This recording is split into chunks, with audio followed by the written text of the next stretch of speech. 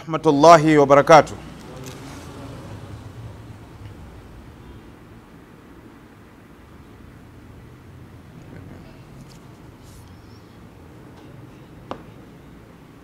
Vipi bwana?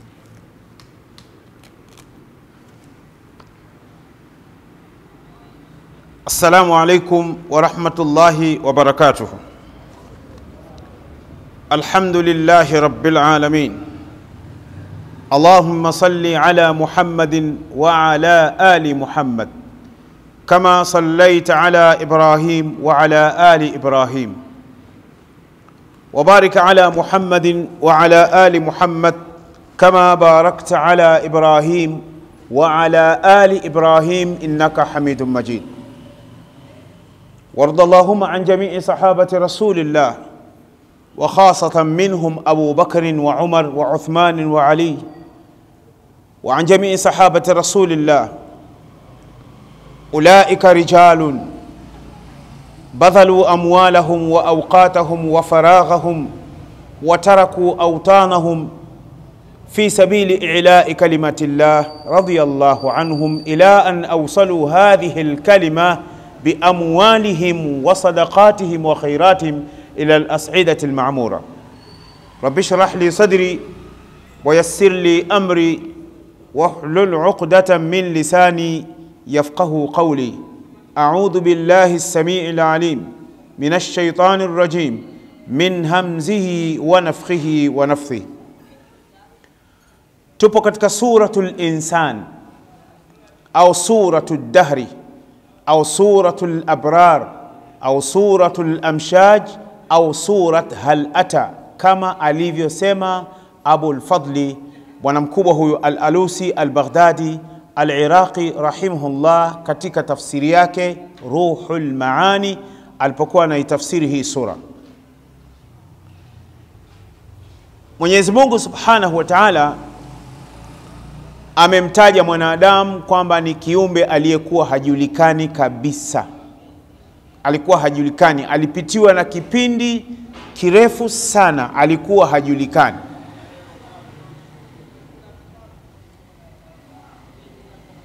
Na huyu mwanadamu ni nani? Ni Adam alaihi salam, kwa sababu wanadamu wote tumetokea, kizazi chetu ni kutokea kwa mzee Adam alaihi salam, na mama Hawa ndiyo mama yetu mkuu. Tofauti na dhana zile za nadharia ambazo amezitaja kafiri mmoja anaitwa Darwin, ambaye yeye anadai kwamba kabla ya hapo binadamu alikuwa hajafikia kiwango hiki, ndio maana hakutajwa, lakini huu ni ukafiri.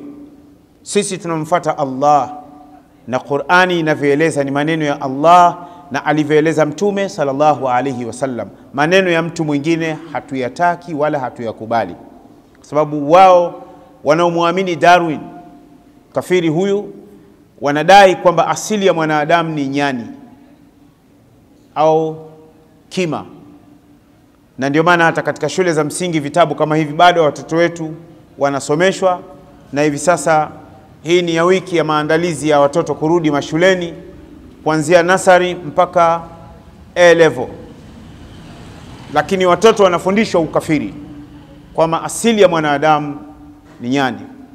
Lakini ukimuuliza mwalimu mwenyewe na ukawauliza wale ambao wanaotayarisha ile mitaala ukamuuliza mwalimu anapotayarisha notes zake na lesson plan ama akaandaa scheme of work, ni kweli yeye teacher yuko tayari kuitwa nyani? Hayuko tayari kuitwa nyani. Kwa nini unawafundisha watoto habari, historia ya uongo? Sasa Allah subhanahu wa ta'ala anasema inna khalaqna insana, hapa kuna alifu na lam yani kila anayeitwa mtu ameumbwa na Allah. inna khalaqna linsana, hakika nimemuumba, tumemuumba mwanadamu min nutfatin, kutokana na tone la manii ambalo ni la baba na mama wanapokutana katika tendo la ndoa. Amshajin, limechanganywa pamoja. Anayechanganya matone yale mawili mpaka akapatikana ukapatikana ujauzito alafu akazaliwa mtoto ameishi hakuishi, mpaka utu uzima, mpaka kufa, aliyechanganya yale maji ya viumbe wawili ni nani? Ni Allah subhanahu wa ta'ala. Inna khalaqna linsana, hakika tumemuumba mwanadamu min nutfatin amshaj, kutokana na mbegu ambazo zilizochanganywa kutokana na yeye Mwenyezi Mungu subhanahu wa ta'ala anavyojua uwezo wake subhanahu wa ta'ala. Nabtalihi, kwa nini mwanadamu ameumbwa? Nabtalihi, tumemuumba kwa ajili ya kumpa mtihani hapa duniani, namna gani anaweza akasimamia amri za Mwenyezi Mungu subhanahu wa ta'ala. Kwa hiyo sisi kuumbwa sisi hapa, kwa wale watoto ambao tayari walifariki wakiwa wadogo, hawakufikia umri wa kubaligh, lakini kwa mimi na wewe tumefikia utoto mpaka tumefikia baligh, mpaka tumekwenda utu uzima huu na wengine tunakwenda mpaka kwenye ubabu mpaka kwenye ubibi. naftalihi ni kwa ajili ya kupewa mtihani, ni nani ambaye atakaye mtii Mwenyezi Mungu subhanahu wa ta'ala.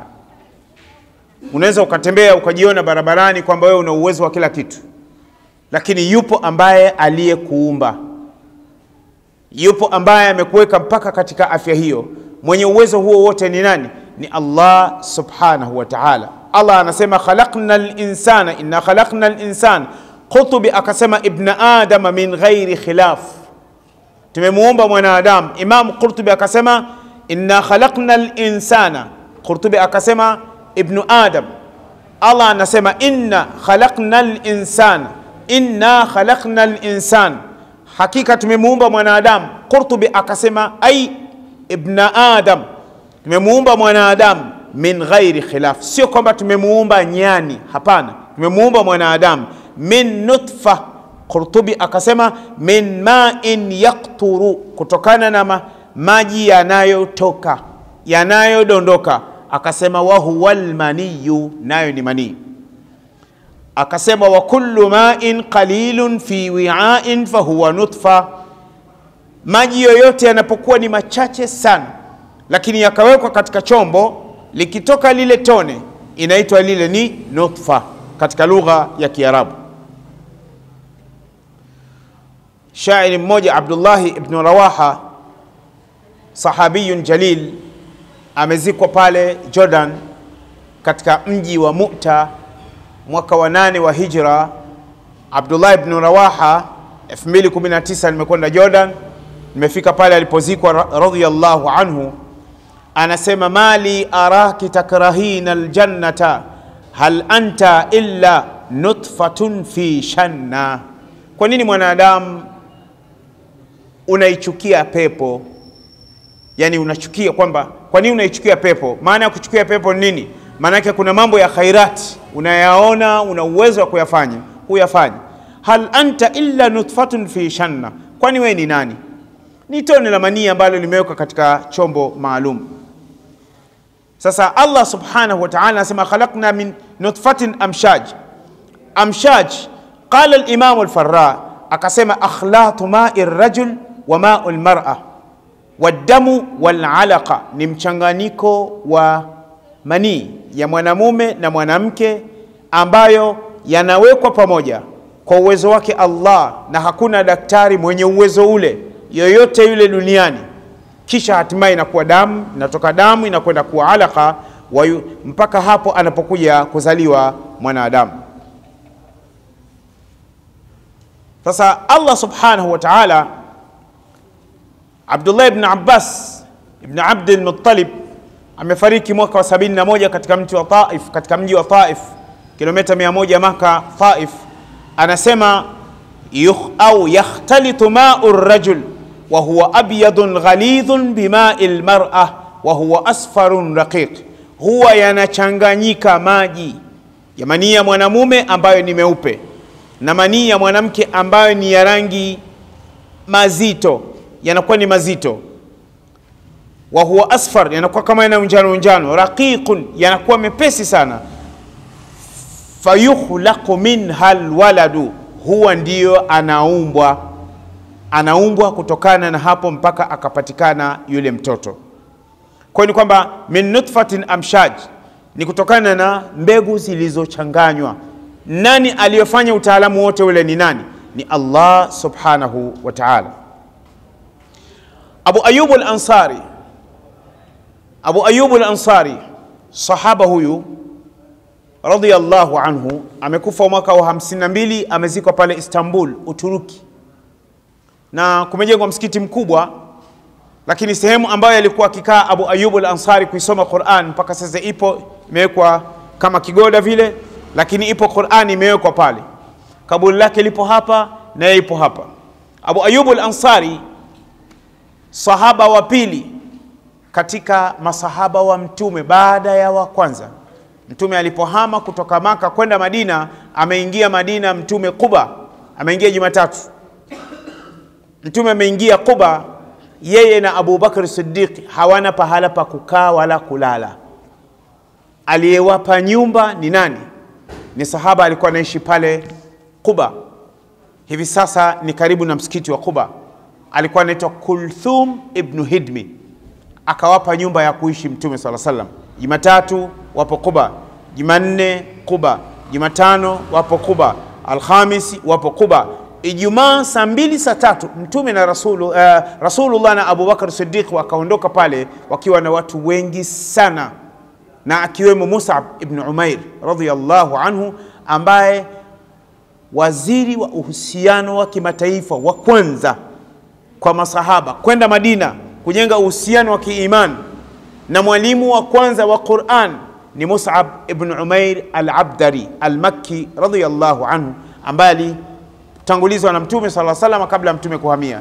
Kwa hiyo wakaondoka pale saa tatu saa mbili wakafika sehemu moja inaitwa Wadi Bani Atika, sio Atika, Wadi Bani Atika. Pale kuna msikiti, ndipo pala Rasulullah alipofika pale akawa amezungukwa na Waislamu, wanahamu, wanamuuliza maswali, huyu anataka hili, huyu anataka hili. Hatimaye salatu Jumaa ikamkuta pale akasali sala ya Ijumaa ya kwanza na akahutubu khutba ya kwanza ya Ijumaa ya kwanza pale katika Wadi Bani Atika, ambapo mpaka leo hivi sasa ukienda kuna msikiti unaitwa Masjidul Jumaa.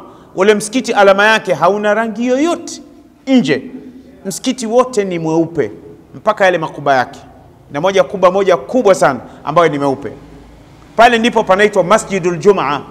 Leo kesho unakwenda Madina mwambie dreva nipeleke Masjidul Jumaa, na kutoka Masjidul Jumaa kwenda Qiblatain ni kama kutoka hapa na kwenda msikiti kwa Kichangani hapa kwa Sheikh Walid hafidhahullahu min kulli makruh, hapa kwa shekhe Walid, yani ni karibu sana.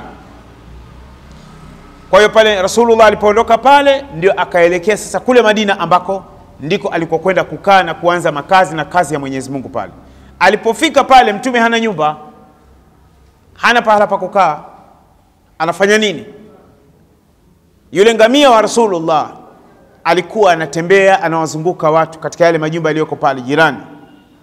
Kila mtu alikuwa anatamani mtume afikie nyumbani kwake.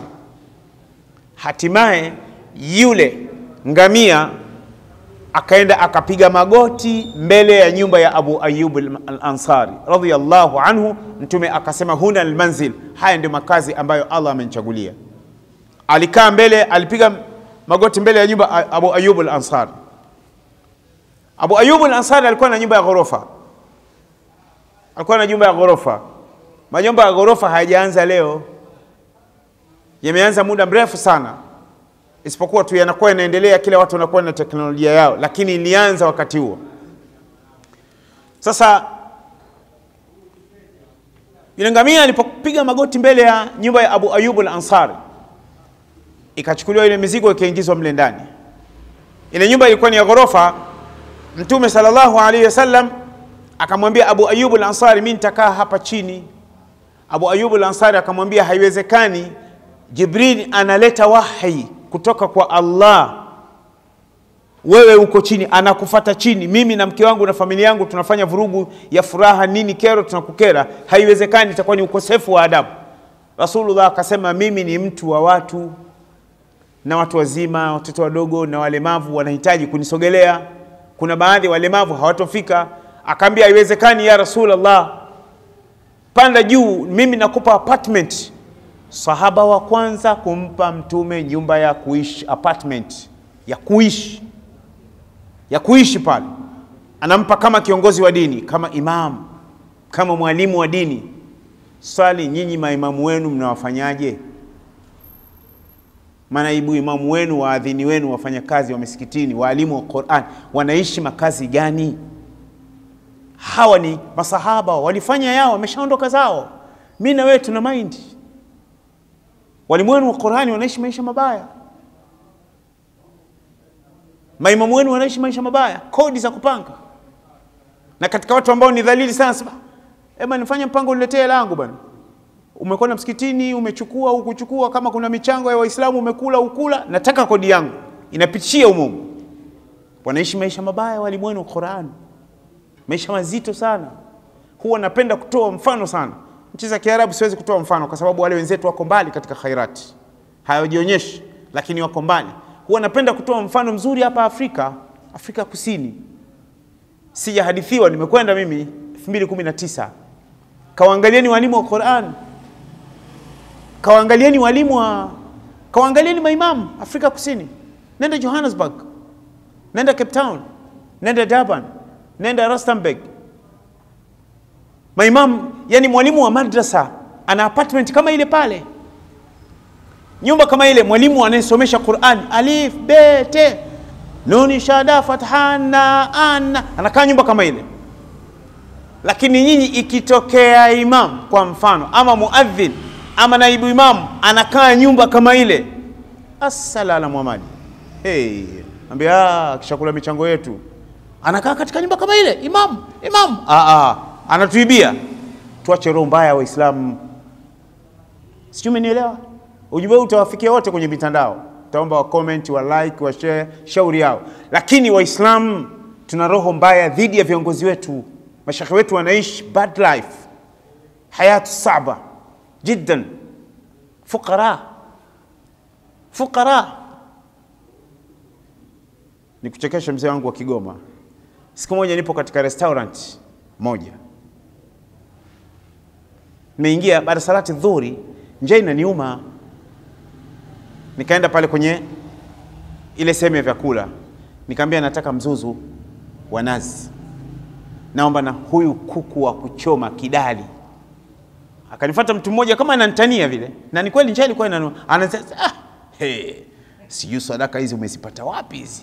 Unakula kuku shekhe, unakula kuku kidali, kuku ndizi mzuzu. Unaona hiyo? Kwa hiyo ningekuta unakunywa uji na andazi, ule ndio uchamungu. Kuna uchamungu wa andazi na uji? Hakuna uchamungu, sio? umenielewa? Alinizungumza kama vile kunitania, lakini ndio maneno yetu ndio maneno yetu. Siku moja pale Manyema, niko ndani ya gari, kuna mtu mmoja anambia, shekhe, nina maswali lakini ni maswali ambayo tuzungumze ndani ya gari. Sawa. Alikuwa na dereva wake na vijana wake, akamwambia tokeni, mimi nataka kuzungumza na shekhe.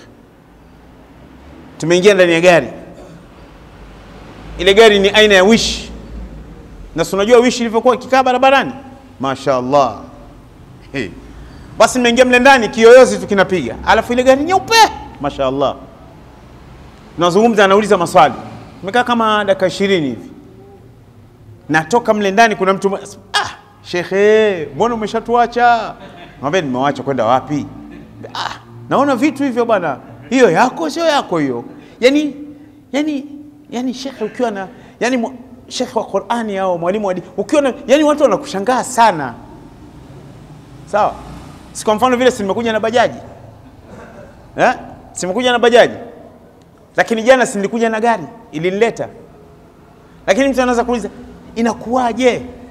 Hapana, Waislamu, hebu tuondoe rangi ya mkaa kwenye nafsi zetu, tuondoeni rangi ya mkaa. Hivi unajua mkaa hata uupeleke duniani, mkaa hauwezi kuwa mweupe. Mkaa unakuwa mweupe? Hauwezi kuwa mweupe roho lakini mkaa ukitengenezwa vizuri unaweza ukatengenezeka vizuri. Yaani Afrika Kusini kwa mara ya kwanza namshuhudia muadhin, muadhin. Ana gari Mark II ya rangi kama hii. anapiga reverse, tena gari yenyewe iko supermarket na wanaye na familia yake, muadhin. Na yule muadhin akisimama kuadhini ile adhana, mwili mzima unatikisika, utadhani kama amepigwa shoti ya umeme, yale matamshi yenyewe, lakini ni muadhin. Amepewa. Anaishi yuko kwenye apartment, msikiti huu apartment. Imamu ana gari mbili, muadhin ana gari moja. Nikaenda Johannesburg, kuna sehemu kuna msikiti unaitwa Masjid Muhammad, msikiti mzuri. Tumeingia salatu al-maghrib, uh, salatu al-isha, naingia ile mlango wa kuingilia pale pame, yani ile staili wa, ile teknolojia waliojenga. Nilipokuwa nakanyaga mimi nilidhani ninakanyaga kwenye maji nitadondoka. Sasa yule mwenyeji wangu akanambia, oya, sio maji ya kicho kioo Msaganya. Ndio nikakanyaga nikajua ni kioo. Sasa wakati kumbe chini watu wanaotawadha wanaotawadha wanawaona watu wanaoingia msikitini, unatawadha chini kisha unapanda kwa ngazi. Yaani mtu aliyoko anaitawadha anamuona mtu aliyoko juu anaingia, na mtu al, aliyoko chini ukiangalia vizuri, hafu ule msikiti siku ya Ijumaa siku ya Ijumaa wakati tunasubiri khutba, tumekaa watu wote tulikuwa tunapigwa aludi, tunatembezewa refresh na aludi. Kama mtu umekuja na kikwapa kwapa, si umekuja na ki, kirangi rangi, kipapai papai, kiperapera, kishie huko huko kwanza. Afu msikiti ni baridi, full AC mwanangu. Kuna watu ndugu zangu, niwaambieni, wanamwambia Allah, lazima unipende na unipeleke peponi. Kwa sababu gani? Anawaona wenzake waliokuwepo wameshaondoka, waliacha mali. Chukueni mfano ndugu zangu, leo kesho nenda Madina, maka sitaki kuitaja, nenda Madina, kuna hoteli inaitwa Wakfu Uthman bin Affan, ina ghorofa tano. Hoteli hiyo. Chini ina frame. Ile hoteli ni ardhi aliyeinunua Uthmani bin Affan wakati wa Rasulullah, akampa Rasulullah na kupa Allah, nampa Allah na Rasulullah. Serikali ya Saudia jazaha Allahu khairan, kuna hoteli pale, hela yote inayoingia pale kwenye misikiti. Huyu Uthman amenunua kisima cha maji Kuba, uh, Kiblateni pale, kuna kijiji kinaitwa Ummu Shajara kutoka pale na kwenye kisima cha Uthman kwenda kwa Jamia Islamia chuo kikuu cha Madina ni kama kutoka hapa ni kama kutoka hapa na msikitini pale kwa dua kile kenye msikiti cha chini ama pale kwenye kawosh. Uthman alinunua kisima cha maji. Mtume alisema man ishtara bi'ra ruma falahu aljanna, atakayenunua kile kisima cha Ruma pepo ni yake, sababu kule kulikuwa kuna watu wanakaa wakina Bani Salima na katika wadi al-Aqiq, katika wadi al-Mubarak, atakayenunua kile kisima pepo ni yake. Mara tatu Mtume anasema. Uthman akamwambia, ana ya Rasulullah, niachie mimi. Mwanamume wakati wa Mtume wakati ule anatoa dirham elfu anazimwaga mbele ya Rasulullah. Mtume anatoka machozi, hela nyingi sana. Uthman ameondoka, kile kisima mpaka leo elfu mbili ishirini na mbili kile kisima kipo. Mara ya kwanza kukishuhudia kwa macho yangu mwaka tisini na moja wakati nakwenda kusoma Madina. Kisima kipo na maji yananywewa, lakini serikali sasa wamekizingirishia. Watu walikuwa wakienda pale wanafanya vitu vya ajabu ajabu, wanachukua mawe pale, udongo, kuna miti miti pale, wanachukua wanaondoka nayo, sijui wanapeleka wapi.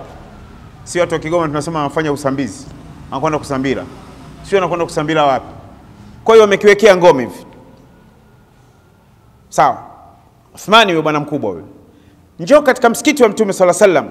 Mnauona ule msikiti wa Mtume sala sallam, ambapo mwanzo mpaka mwisho kuna nguzo kumi na mbili. Ardhi ile aliinunua Abubakar Siddiq siku anaingia Madina kutokea Kuba. Mtume akasema lazima tupate pahala pa kusalia. Wakaambiwa kuna ardhi ya watoto wamefiwa na baba yao ipo pale wakaitwa wale watoto. Mtume akawambia thaminuni, ntajieni gharama mpate mzigo. Wakataja mzigo kidume pale, Abubakar akachomua mzigo pale chwap, akamwambia huu hapa, haya ondokeni. Ikakatwa mitende pale, pakachimbwa, pakajengwa msikiti wa Mtume, bwana mkubwa wa kwanza kujenga kununua ardhi ile, Abubakar Siddiq radhiyallahu anhu. Chukua mlango ule, babul hijra, nenda nao moja kwa moja, ingia kulia, utakwenda utakuta kuna mlango unaitwa babu Umar ibn Khattab. Ni kama nyumba, ni kama kutoka hapa mpaka hapa, lakini mlango, ile nyumba ilikuwa ni ya Umar ibn al-Khattab radhiyallahu anhu.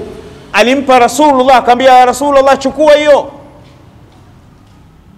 Naona vidume. Ukiingilia mlango namba moja, Bab Malik Fahad, mlango namba eh, samani, mlango namba 21 tembea hatua 15 kushotoni kwako. Waarabu wanasema ala yasarik. Kuna sehemu kama vile kuna kama kuna station ya maji ya rangi kama ya fedha fedha, pale ndipo kilipokuwepo kisima cha Abu Talha Bairuha. Sababu ya kushuka ile aya lan tanalu lbirra hatta tunfiqu mima tuhibun hamwezi kufikia daraja la wema mpaka mtoe mnavyovipenda. Abu Talha akamwambia ya Rasulullah, ya Rasulullah, mimi ninavyovipenda shamba langu ila la mitende na Bairuha, na kulikuwa kuna maji baridi. Akampa lote Rasulullah. Mtume akamwambia hapana, toa sehemu na sehemu nyingine ibakie kwa familia yako na maisha yako. Hawa watu wameondoka, mi na wewe tumefanya nini mpaka leo? Tumeelewana vizuri? Mi na wewe tumefanya nini? Mnauona huu msikiti huu? Mnayaona haya mazulia yana mwaka wangapi sasa? Haya mwaka wa pili. Siku moja nilikuwa nazungumza habari ya mazulia miaka miwili iliyopita hapa kwenye darasa hivi hivi, jamani, mazulia jamani, yamechoka haya, yalikuwa ya rangi ya kijani, jamani, jamani, jamani, mazulia jamani, mpeni Mungu. Katokea kidume kimoja, nimesikia kwa mtu mmoja yule bwana akamwaga mzigo hapo ngoma. Hebu fikiria kutoka hapa mpaka pale, unadhani milioni ngapi? Na nyingi. Yani ile ule mzigo ukipewa sasa hivi unaweza ukaenda ukanunua kiwanja na unajenga na nyumba mpaka ikafikia kwenye rinta. Yule bwana amempa Mungu na mtume. Mimi na wewe tumefanya nini? Naziona hizi feni, hii feni moja nadhani laki mbili na nusu. Hii feni mikubwa hii.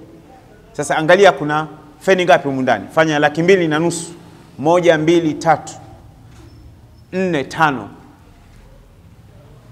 Laki mbili na nusu mara tano, milioni ngapi? Naam, kampa Allah. Mimi na wewe tumefanya nini? Tumeelewana ndugu zangu? Sasa hawa ni watu wema ambao walifanya mambo mema. Sasa hapa Mtume sallallahu alaihi wasallam,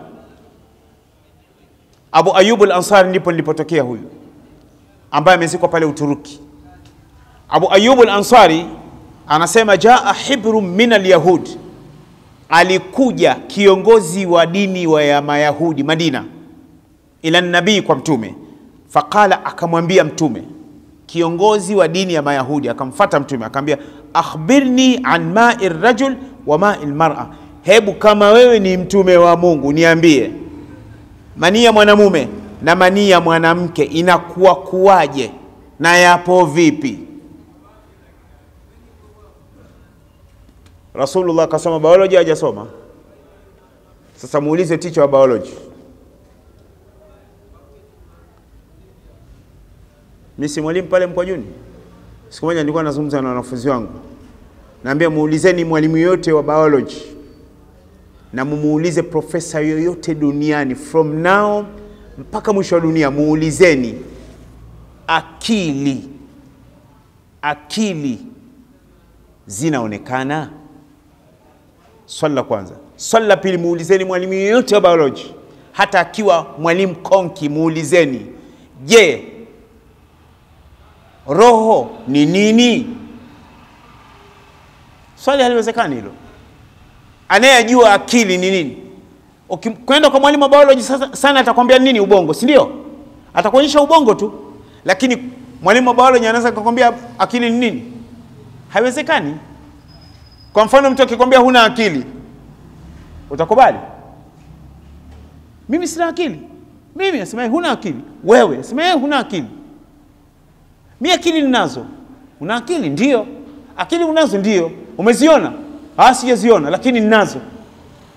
na mtu anamwambia bana, kichwani kwangu kuna akili. Swali, kama kichwani kwako kuna akili, kichwani akili zinakaa wapi?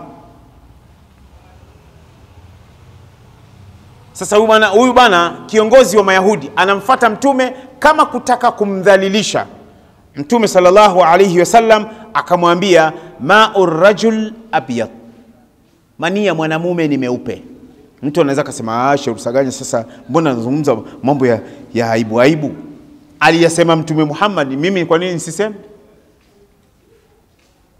La sivyo, msitaki niseme, basi wakeni nini tishu kwenye masikio, nitabaki najisikiza peke yangu.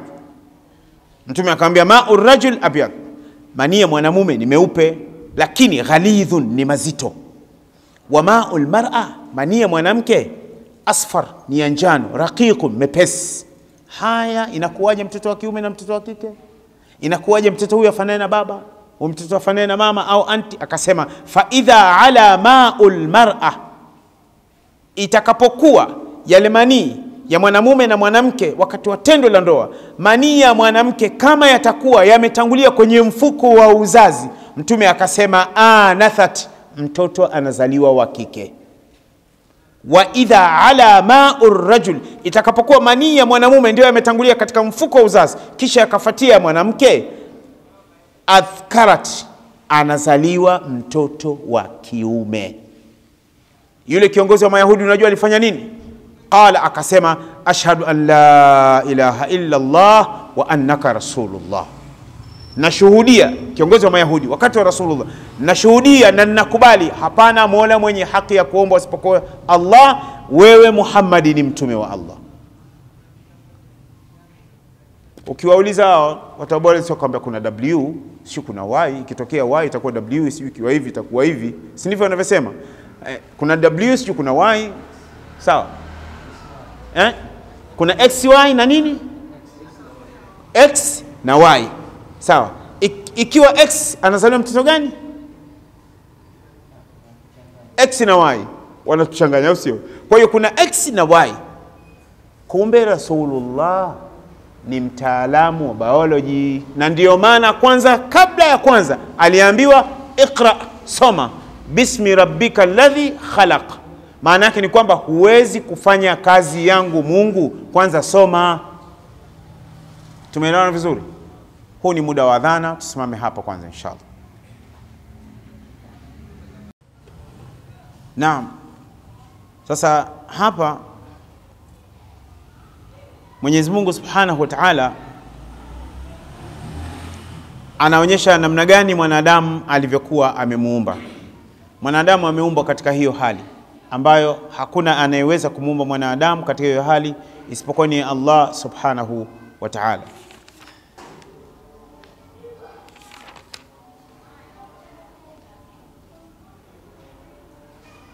Sasa Allah subhanahu wa ta'ala anasema faja'alnahu samian basira, baada ya kumuumba mwanadamu nikamfanya kuwa anasikia tena basiran, anaona kwa hiyo huku kusikia kwetu ni uwezo wa Mungu, na ndio maana kuna watoto wengine wanazaliwa hawawezi kusikia, na kuona.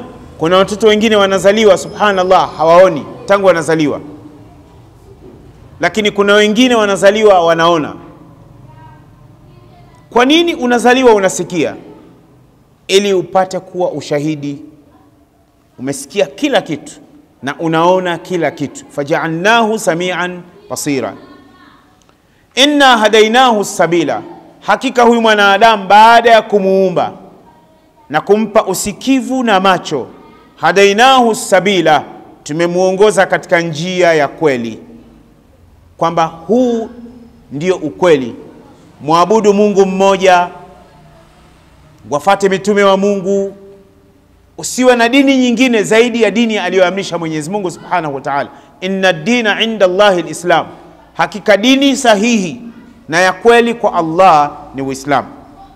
Na hadainahu sabila, na ndio maana imewekwa alif na lam, ina maana ni maarifa, ni dini inayojulikana na Allah. Inna hadainahu sabila, hakika tumemwongoza njia iliyonyoka, imma shakiran wa imma kafura. Ama huyu mwanadamu atamshukuru Mwenyezi Mungu kwa kuongozwa katika njia iliyokuwa sahihi ama atamkufuru Mwenyezi Mungu kwa kuto kufuata njia iliyokuwa sahihi. Kwa hiyo mwanadamu anapokuwa anaacha kum, kumfuata Mwenyezi Mungu njia iliyonyooka, maana yake ni kwamba anakuwa amemkufuru, lau kama hajatamka, lakini ni kwamba amemkufuru, na maana amempinga Mwenyezi Mungu Subhanahu wa Ta'ala. Kwa mfano, mtu anaambiwa aswali, Muislamu hataki kusali na hana dharura yote kutokusali. Muislamu anaambiwa nenda haji, hataki kwenda haji na hana sababu yoyote, na uwezo anao, na hivi sasa watu wamepata sababu, "Ba- corona bana, wallahi tungekwenda bana, corona bana. Lakini kabla ya corona watu walikuwa sawa. Haya, mtu anaambiwa afunge Ramadhani. Mnaona hivi sasa, huu ni mwezi wangapi? Huu ni Jumada Thania au Jumada al-Akhira, inakuja Rajab. Ikitoka Rajab inakuja Shaaban. Ikifika Shaaban, kwa nilivyowazoea Waislamu, simu hizi zinafanya kazi, maswali inakuwa ni Sheikh, kwa mfano na, na, na kisukari na kizunguzungu, sijui nikifunga najisikia kama utumbo unacheza hivi, sijui nikifanya hivi meno yanafanya hivi. Je, je shekhe, ina- yani wanakuwa na maswali ambayo wanamtaka shekhe atoe ruhusa ili apate kupiga sasa rafiki yangu, miezi kumi na mbili miezi kumi na moja yote umekula, basi hata huu ayama madudat, masiku machache. Sema shekhe, yani hivi sasa maswali hayajaja kabisa, navyojua mimi ndivyozoea, kuanzia tarehe ishirini Shaabani, alafu anakwambia Ramadhani ya jana siku, mwaka jana sikufunga siku ishirini. Sababu sijui nilikuwa na nanyonyesha. Alafu ile ya mwaka juzi nilipitwa na siku tano nilikuwa sijui na hivi. Alafu ile sasa shekhe nizifanyaje? Hivi sasa hawaulizi chochote. Anakuja kuuliza mwezi wa Shaabani, ah, basi wewe endelea kula tu alafu utalipa. Sasa wanatuingiza katika mitego shekhe eh, wanakuingiza katika mtego. Sasa siku nyingine unaweza kuulizwa maswali hayo na mtu ambaye unayemheshimu unafanyaje? Unaweza kusema "Ah, hamna neno. Anasema "Ah, shekhe mwenyewe kaniambia nimejibiwa na shekhe fulani. Kwa hiyo unajikuta wanaweza kakulaumu watu. Kwa hiyo ningeomba waislamu wenzangu kama nikuuliza maswali waanze kuuliza maswali sasa hivi ya ramadhani. Je umeacha siku ngapi kafara yake ni nini inafungwaje lakini hawaulizi mpaka sasa. Kwa leo tuishi hapa sababu aya zinazokuja mbele nazungumzia habari ya pepo alafu itazungumzia habari ya nadhiri. Tutaiangalia nadhiri insha allah wiki ijayo. Nadhiri ni nini? Nadhiri sahihi inayofaa na anayoikubali Mwenyezi Mungu na aliyoifundisha mtume ni ipi, na ni nadhiri gani mbaya? Maanake kuna watu wengine wanaweka nadhiri za ajabu ajabu. Mwingine anasema bora ni yani, mimi ukitokea wewe bora nife. Mwingine anasema ukiwa hivi wewe ewana wewe ukinshinda, ah, wallahi wa dini wa rasuli nywele zote hapa bwana. Sasa yalikuwa ni mambo ya ajabu ajabu. Sasa wiki ijayo tutaangalia yufuna bin nadhir wa yakhafuna yauman kana sharruhu mustatira. Tutaangalia nadhiri, sawa, na tutagusa hata, kuna baadhi ya wapenzi wa klabu hasa Simba na Yanga huwa wanaweka nadhiri za ajabu ajabu sana. Tutatoa mifano siku hiyo. Kwa hiyo wale itakayokuwa imewagusa basi wajue wamefanya makosa, na umwombe Mwenyezi Mungu toba walete istighfar, muombe Mungu msamaha, Mwenyezi Mungu atawasamehe inshallah. Wa sallallahu wasallam ala nabiyina Muhammad wa ala alihi wa sahbihi wasallam. Alhamdulillahi rabbil alamin. Kwa leo hapa tunaishia hapa, wallahu a'lam.